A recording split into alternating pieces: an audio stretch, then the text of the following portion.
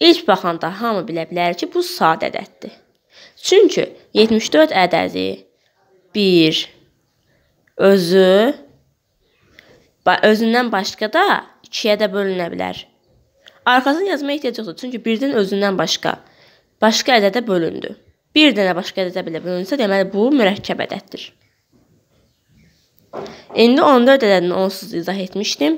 Həmçinin 1-ə, özünə və yalnız 2 yazaq kifayətdir ki, bilinir ki, bu artıq mürəkkəb ədəddir. Çünki bir dənə belə özü birdən başqa ədəd var.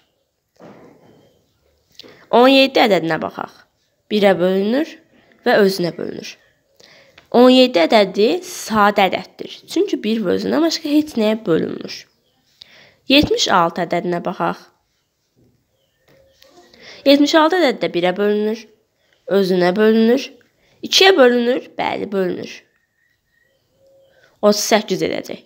Deməli, 1 və özündən başqa başqa bir ədəd də bölündü. Deməli, 76 ədəd də mürəkkəb ədəddir.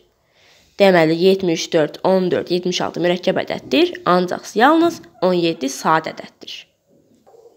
Uşaqlar, mənim sizə izah edəcəyim bütün mövzular 6-cı sinif dərsliyi olan e, dərslik deyil, Namazovdan olacaq və Namazovda da həmçinin dərslikdə olan mövzular əhatə edir və orada müxtəlif çalışmalar var.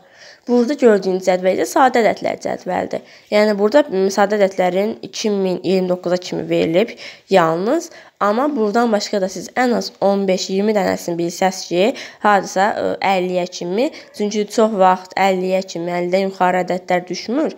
Yəni ən azından 50-yə kimi bilsəz, baxanda anlaya bilərsiniz ki, bu hansı sadə, hansı mürəkkəbdir. Qismən öyrənərək siz bunları əzbərləyə bilərsiniz. Burada isə bütün sadə ədədlərin göstəriciləri aydın edilmişdir.